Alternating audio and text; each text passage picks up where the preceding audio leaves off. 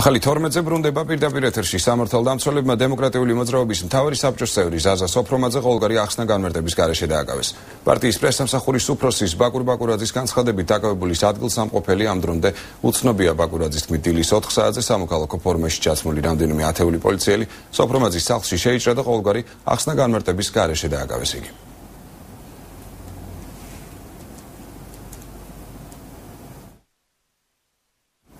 უფრო დაწრულებით თამუნა ილურიძე ისაუბრებს პირდაპირ ეთერში თამუნა მოგესალმებით. თუ გახდა ცნობილი რატომ დააკავეს რატომ მოხდა დაკავება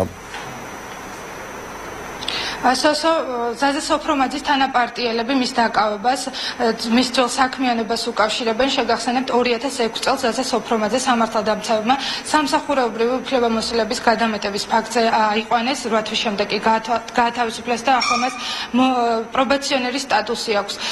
როგორც რამდენიმე წუთის წინ გაირკვა შინაგან საქმეთა სამინისტრომ გავრცელა ინფორმაცია რომ სოფრომაძე ამ წუთებში გადაყვანილია მთავარ პროკურატურაში სადაც მოწმის სტატუსით დაიკითხება.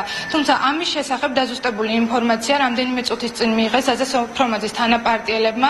მის ადვოკატმა კი განაცხადა რომ 7 საათის განმავლობაში ის უშედეგოდ ცდილობდა დაედგინოს თუ სად იმყოფებოდა მისი დაცვის ქვეშ მყოფი გელა ნიკოლაიშვილი ამბობს რომ სამართალდამცავებმა აყვანის პროცესში საპროცესო კოდექსის რამდენიმე მუხლი დაარღვიეს. როდესაც გადაადგილების თავისუფლება აღუკვეთეს და მიიყვანეს, მაშინვე კანონი მოითხოვს, რომ ეს არის 171 მოხსაბების კოდექსის, რომ მას მიცემთ ერთი ზარის განხორციელების საშუალება და უთხრას ოჯახს ან სადავარ, ან ადვოკატი მჭირდება, ან ეს არ გააკეთეს.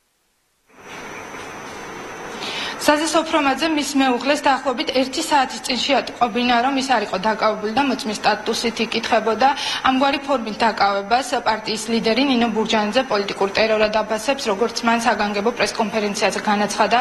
პარტიისთვის ცნობილი იყო რომ ივლისის ბოლოსთვის ხელისუფლება დაიწყებდა ოპოზიციური ლიდერების დაკავებას. ნინო ბურჯანიძე ამბობს რომ მან სოლიდარობის თხოვნით სხვა პარტიებს მიმართა. 10-ზე მეტმა ადამიანმა საკუთარ სახში აიყვანა და თავისუფლება აღუკვეთა დემოკრატიული მოძრაობის მთავარი საბჭოს წევრს, ჩვენი პარტიის ერთ-ერთ ლიდერს, ზაზა სოფრომაძეს აღუკვეთეს თავისუფლება. ჩვენ გქონდა ინფორმაცია იმის თაობაზე, რომ ივლისის ბოლოს აგვისტოს დასაწყისიდან ხელისუფლება გადავიდოდა და დაიწყებდა ტერორის განხორციელებას პოლიტიკური პარტიების ლიდერებზე და პოლიტიკური პარტიების წევრებზე. ეს გასაკვირიც არ არის გამომდინარე იქედან, რომ არჩევნებამდე საკმაოდ ცოტა დრო რჩება, ხოლო ხელისუფლება კი ყველა თავისი ნაბიჯით ადასტურებს, რომ ის არაპირებს თავისუფალი და დემოკრატიული არჩევნების ჩატარებას.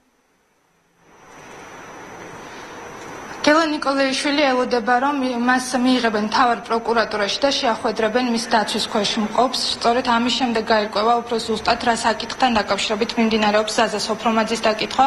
კიდევ ერთხელ შეგახსენებთ რომ ის რამდენიმე წლის წინ სამართალდამცავებმა დააკავეს, ახლა კი მას პრობაციონერი სტატუსი აქვს. სოსო დიდი მადლობა ზაზა სოფრომაძის საქმის დეტალებით თამუნეილურიძე საუბრობდა პირდაპირ ეთერში.